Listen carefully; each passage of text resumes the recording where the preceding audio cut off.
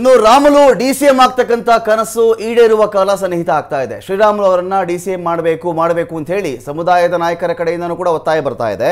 ಸ್ವಾಮೀಜಿಗಳ ಕಡೆಯಿಂದನೂ ಕೂಡ ಒಂದು ಒತ್ತಾಯ ಬರ್ತಾ ಇದೆ. ಶ್ರೀರಾಮುಲು ಅವರನ್ನ ಡಿ ಡಿ ಸಿ ಎಂ ಯಾಕೆ ಮಾಡಬಾರ್ದು ಅಂತ ಹೇಳಿ.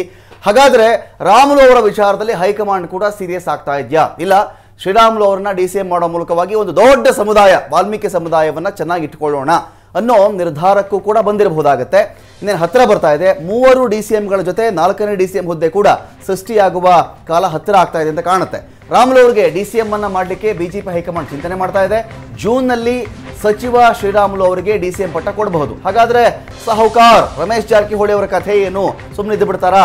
ರಮೇಶ್ ಜಾರಕಿಹೊಳಿ ಅವ್ರು ಏನು ಮಾಡೋಣ? ಅವ್ರಿಗೆ ಜಲಸಂಪನ್ಮೂಲ ಖಾತೆ ಕೊಟ್ಟುಬಿಟ್ರೆ ದೊಡ್ಡ ಪ್ರಭಾವಿ ಪ್ರಬಲ ಖಾತೆ ಅದು. ಅದನ್ನು ಕೊಟ್ಟರೆ ಅವರು ಸುಮ್ಮನಿರ್ತಾರ ಆ ಮೂಲಕವಾಗಿ ಹಿಂದಿನ ಚುನಾವಣೆಯಲ್ಲಿ ಭರವಸೆ ಕೊಟ್ಟಿದ್ದಂತೆ ರಾಮುಲು ಅವ್ರನ್ನ ಡಿ ಸಿ ಎಂ ಮಾಡಿದಂತೆಯೂ ಆಯಿತು, ಜಾರಕಿಹೊಳಿ ಅವ್ರನ್ನ ಸಮಾಧಾನ ಮಾಡಿದಂತೆಯೂ ಆಯಿತು ಅಂತ ಒಂದು ಪ್ಲಾನ್ ಮಾಡ್ಕೊಂಡಿದ್ದಾರೆ. ಇದಕ್ಕೆ ಜಾರಕಿಹೊಳಿ ಹೇಗೆ ರಿಯಾಕ್ಟ್ ಮಾಡ್ತಾರೆ ಗೊತ್ತಿಲ್ಲ.